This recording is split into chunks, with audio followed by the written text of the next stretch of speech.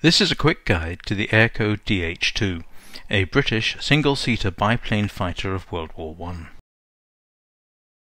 As the air war during World War I began to escalate, it became clear that existing aircraft were not up to the task.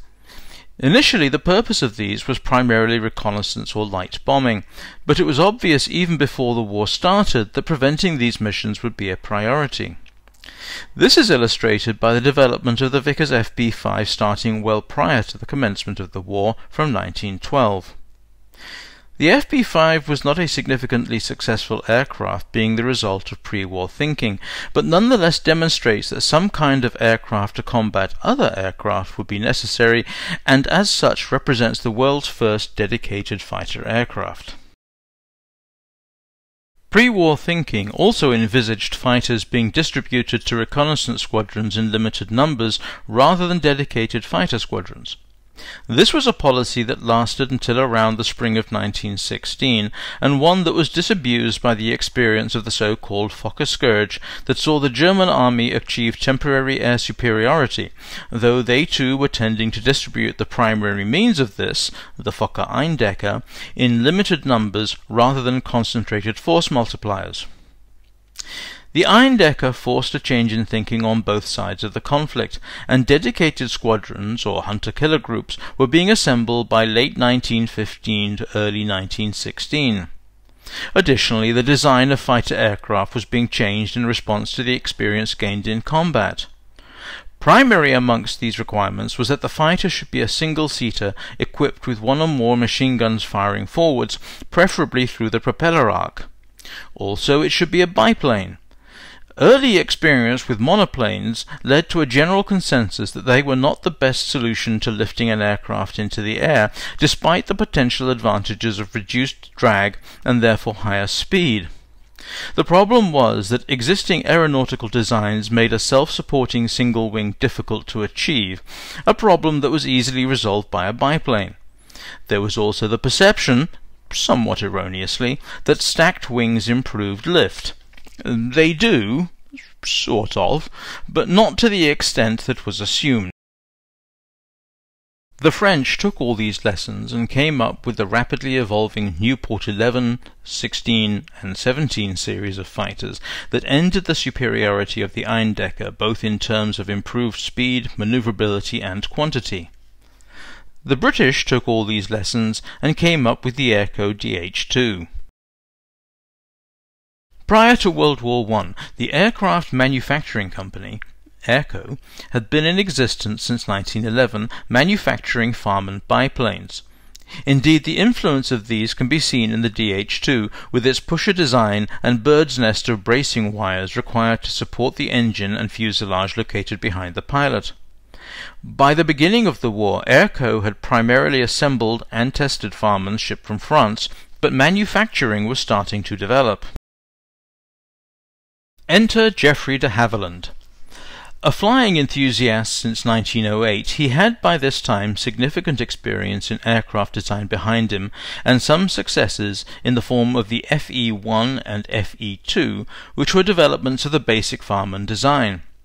Farman aircraft were noted, as has been stated, by the location of the propeller behind the pilot in a pusher configuration. The FE part of the nomenclature actually means Farman Experimental. Then employed by the Royal Aircraft Factory, he went on to design the BE-1 and BE-2 biplanes based on Louis Blériot's tractor approach to the location of the propeller, that is, in front of the pilot. BE therefore stands for Blériot Experimental. De Havilland favoured the tractor design and pushed forwards with it to produce the SE-2, which in 1913 achieved a speed of 91.7 miles per hour, quite remarkable for the time. Circumstances resulted in de Havilland approaching Airco with regards to employment, and he began work for them in June of 1914. He began design work on tractor configuration aircraft, but this work was superseded by the Royal Flying Corps requirement for a pusher-type two-seater biplane equipped with a machine gunner for the observer. Probably with some reluctance, he nonetheless went forwards and by January 1915 had come up with the DH-1. The use of his initials for the naming of the aircraft was due to the policy of Airco and represents a nice gesture towards the designer. Airco, however, was unable to manufacture the DH-1 as they were committed to producing Farman-style trainers, so Savages of King's Lynn took over responsibility for production. Although de Havilland wished to continue with the design of tractor-style aircraft akin to the SE-2, the requirements of the Royal Flying Corps once again took precedence, requiring a single-seater pusher that could fire its armament forwards. One of the problems with a tractor design is the requirement for interrupter gear to prevent the machine guns from shattering the propeller.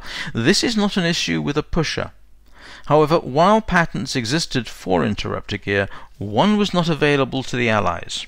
Not yet. De Havilland basically cut down his design for the DH-1, converting it to a single-seater, which perhaps inevitably became designated the DH-2.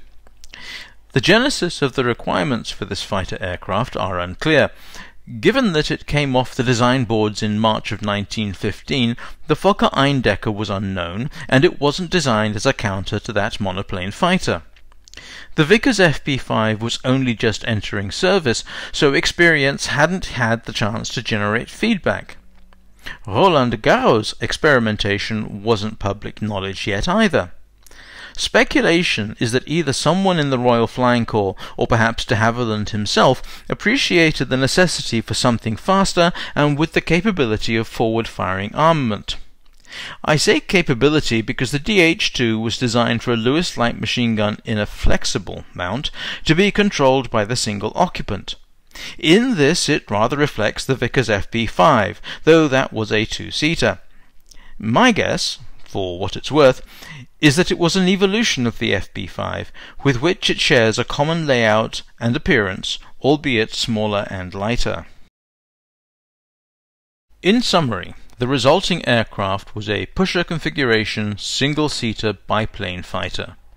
Its top speed was only 93 miles per hour, though it was to prove to be more maneuverable than the Fokker Eindecker. With wing warping going out of style, it used ailerons for lateral control, though the routing of the control cables was necessarily complex because of the pusher propeller. It is a shame that de Havilland was not able to continue the development of the SE2, as the results might have been quite superior. The DH-2 first saw flight on June 1, 1915, piloted by Geoffrey de Havilland himself, who reported that it was somewhat tail-heavy and that the fin and rudder needed to be enlarged. Modifications were made to rectify this, and subsequent flights received positive feedback to the extent that series production was ordered. The Royal Flying Corps test pilot, Captain Robert Maxwell Pike, who evaluated the aircraft, wrote that it was superior in speed and climb to any German scout, which was at the time a reasonable assessment. The Fokker Scourge had not yet started, and it wasn't until a year later that an evaluation of the Eindecker could be made. That initial prototype was, rather surprisingly, shipped to the Western Front for combat evaluation, at which point it was promptly shot down and captured by the Germans, who appear not to have appreciated what they had laid their hands on and never flew it. The pilot was the same Captain Pike who had made the initial evaluation, and he had been shot through the head by the crew of an Albatros two-seater before he could report anything substantive about its performance. Nonetheless, production went ahead, though introduction into the field was delayed. It wasn't until January and February of 1916 that the first four DH-2s were issued to three squadrons for further evaluation. At the same time, thinking about the deployment of fighters had changed across the board and as the Germans and French were starting to field entire squadrons of fighters, the first three squadrons of DH-2s made their appearance on the Western Front in March, April and May, respectively. While it has been said that the DH2 was responsible for or had a substantial role in the ending of the Fokker scourge, this seems to me to be something of an exaggeration. I think it is more accurate to state that once the Nieuport fighters blunted the limited onslaught of the Fokker Eindeckers, the Airco DH2 assisted in maintaining air superiority until the next generation of German fighters arrived, at which point it was substantially outclassed. Its primary advantage in a dogfight appears to have been its maneuverability, even when its opponents were faster. Against the Fokker Eindecker it was only slightly faster, although its rate of climb was superior. However, the armament was markedly inferior, requiring frequent reloading in flight due to limited magazine capacity of the armament. Also, its mounting would have been deficient. Initially in a flexible mount, the DH-2 pilots quickly realized that it was preferable if it were fixed to fire forwards. The Royal Flying Corps was quite reluctant to permit this, and an operational compromise was reached wherein a spring clip was devised to hold the Lewis light machine gun in place facing forwards so that it could be released should the necessity arise. In reality, this rarely if ever happened. Sights to permit effective forward firing had to be improvised in the field. For six months, encompassing mid-1916, the DH-2 was an effective fighter. However, as new German fighters emerged, it was soon obsolete, though its superior handling qualities allowed it to remain competitive in a dogfight. Nonetheless, it soldiered on until the spring of 1917, by which point it had been replaced as a frontline fighter by the new generation of Allied aircraft. It saw a minor resurgence as a ground attack aircraft during the Arras offensive, as its forward view was superior to that of tractor biplanes. The last DH-2 on the Western Front was retired to the depot on July 1st. To give some idea of how fast the DH-2 was being superseded by superior aircraft, by summer of 1916, essentially at the peak of its success, it was already being used as an advanced trainer, a typical role for fighters as they became obsolete. It was still suitable for quieter arenas of the war, and saw service in the Middle East until early 1918, although it was by then completely obsolete, even compared with the second-line aircraft being fielded in the same arena by its opponents. Around 450 Airco DH-2s were manufactured and operated by 10 squadrons of the Royal Flying Corps.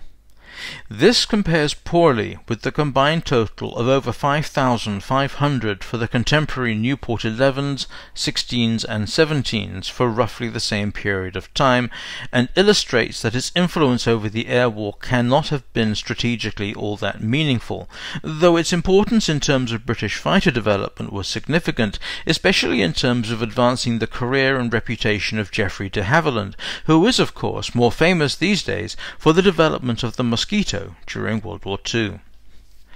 No original Airco DH-2s are known to exist.